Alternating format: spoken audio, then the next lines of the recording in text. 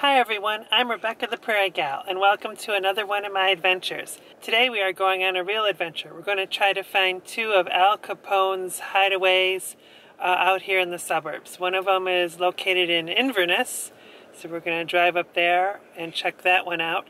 And then the other one is located on the Fox River in St. Charles. So uh, quite an adventure in store for you today, so let's go.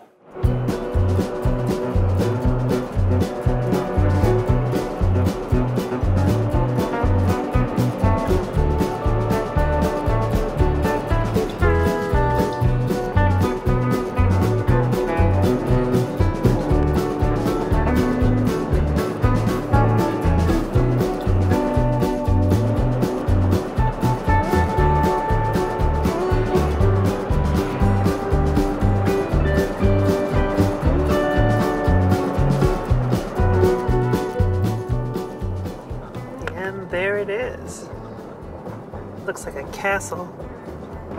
Arriving at destination on right. Well, we made it here to one of Al Capone's uh, hideouts and secret hooch. And believe it or not, today it's actually the city hall for the town of Inverness, Illinois. So we're gonna walk up a little closer and get a get a better look at things. So some of the literature about this building says the building consists of a there's a refurbished bar inside, and uh, there are four cement block silos. And uh, it was in these silos that was the hideaway. Look at the silo to the left, there's actually windows um, where he and his crew could have an unobstructed view of the neighboring countryside. And that from there they'd be able to make sure they could see any G-men that were coming up to try to raid the building. Today the silos are actually part of the village offices. It's amazing. So we'll walk up there and see if we can get a closer look at things.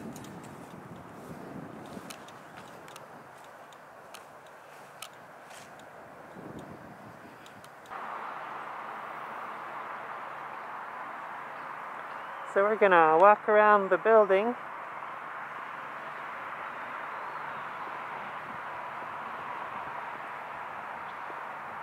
We're gonna go inside and see if there's anything to see on the inside.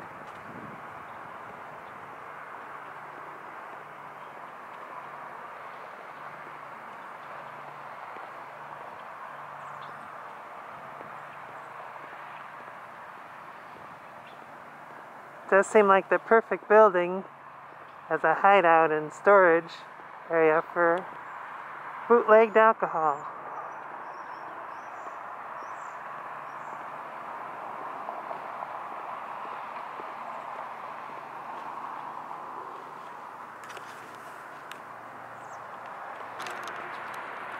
So I just went inside and talked to one of their office administrators and asked them a little bit about the history of the building and she said that this is a Al Capone's hideaway is, is alleged. So I'm not sure um, if there's definitive history on on this building being uh, Al Capone hideaway. Um, but from what I was reading from several other sites is that they claim that it was. So it's certainly um, if it was true they're not admitting to it inside the the, the city hall here so um, the inside was actually pretty cool, um, but I, I, wasn't comfortable videotaping in there. Um, anyways, we'll walk around the outside and take a look at it because it certainly is something that looks like it certainly could have been Al Capone's hideaway. So we'll check out a little closer.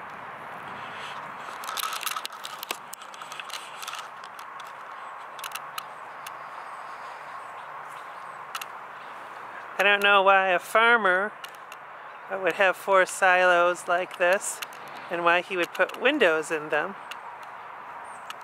So logically speaking it seems like it'd be a certainly a great hideout. Anyways, it's, it's a very unique building, sort of castle-like with those conical towers. If I ever make a movie and I need a castle-like building, I think I know where I'm coming to. We just don't have many castles here in Illinois. So what I understand is this back portion, um, in fact the building in between, the office administrator was saying that was actually once a, for a real estate company, which was built in between the silos. But these are the windows that allegedly Al Capone's uh, henchmen would stand guard and wait for the G-men, watch for the G-men to come.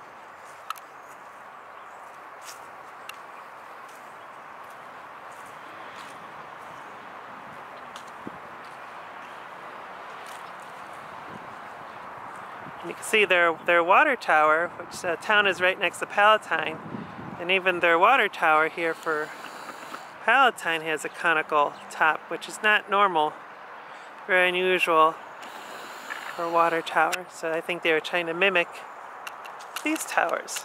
And I think it's great. I asked if there was an office up there, and she said, no, it's just empty.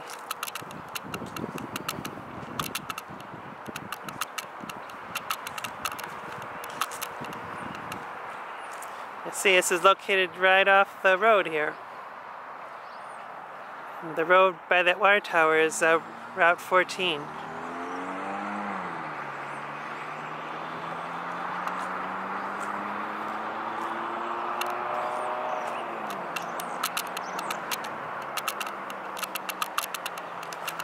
Okay, this was a rather fun place to stop and visit, and we're going to go to our next destination, uh, which is on the Fox River back in St. Charles. So let's go.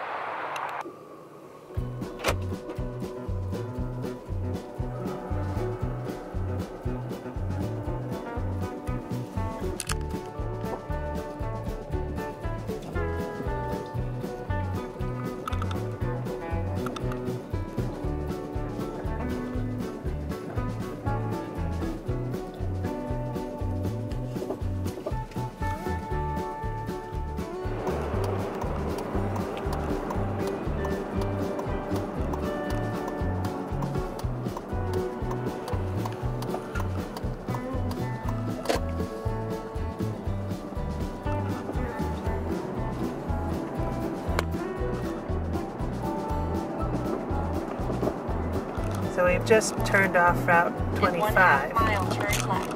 And uh, we're going to go back towards where Al Capone's hideaway is.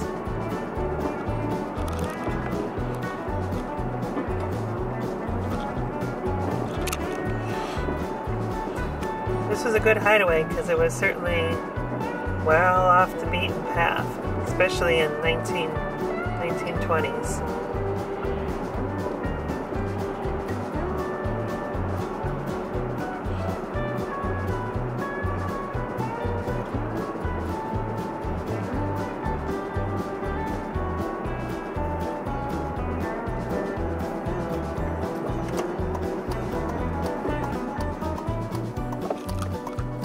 Used to be a juvenile prison here. They took that out a few years ago.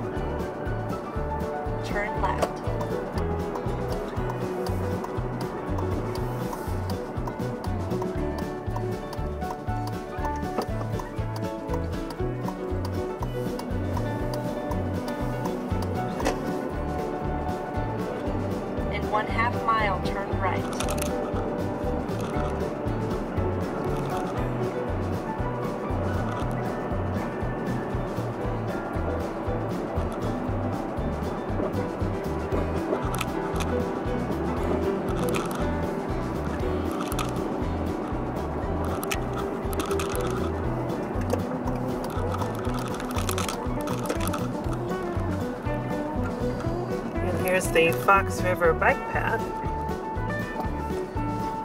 which actually used to follow an old railway bed that went along this area, along the Fox River.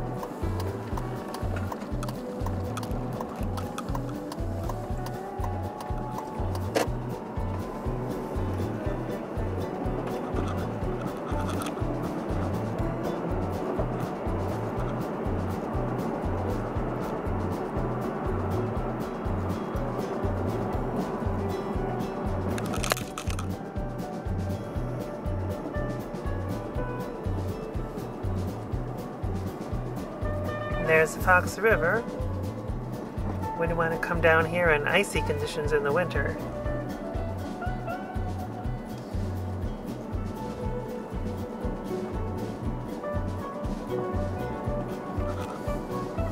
And there it is. Pull over here. Arriving at destination on left.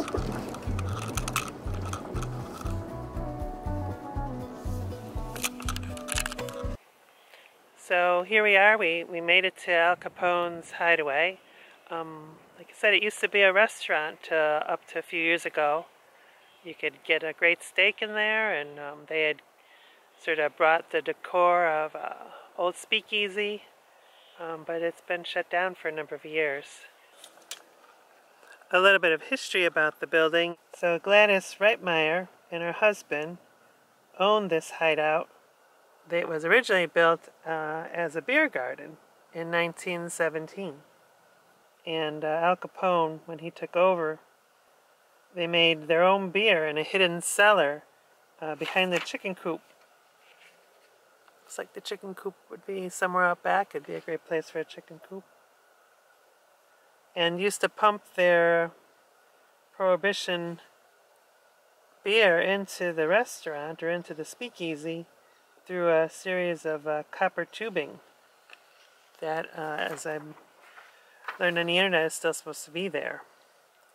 Um, there would be uh, several raids here, bar, barroom brawls, and there were many bootleggers at the time. And uh, it was reported that rival gang members would visit the Reitmeyers every other month, each suspecting the other was selling beer to the couple instead of them making it.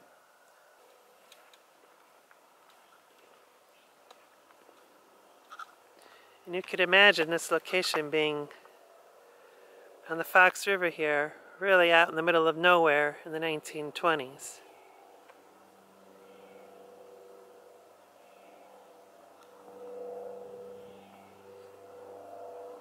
Come down this road.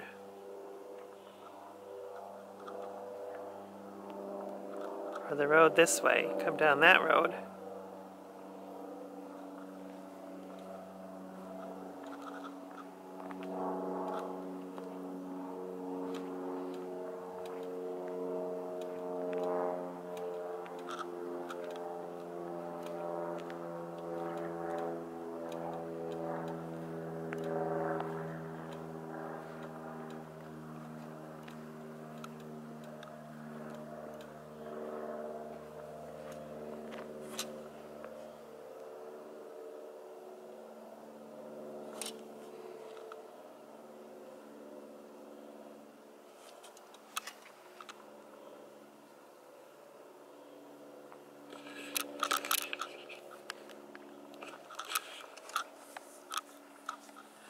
Yeah, it's a shame it's not a restaurant anymore. It was a really fun place. I got to eat here a couple times when it was open.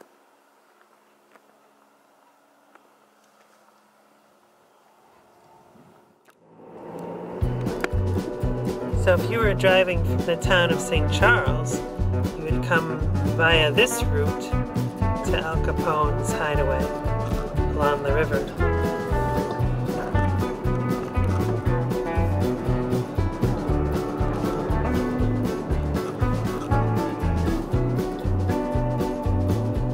So this is coming from the north driving south.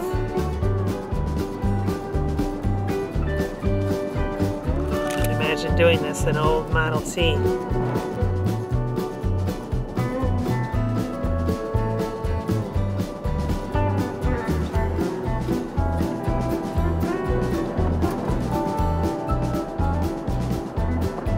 There goes a squirrel.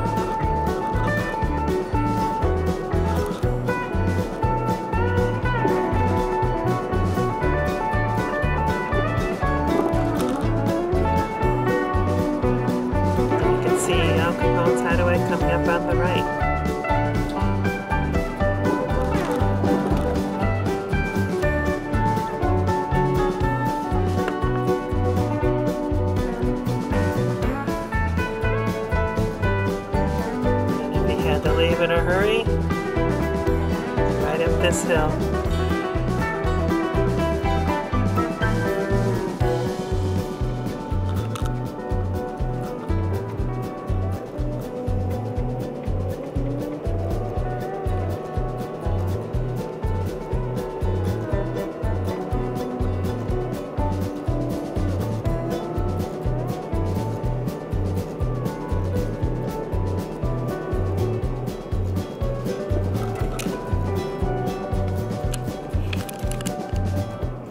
going to do it for today's adventure. If you enjoyed it, please hit the thumbs up button.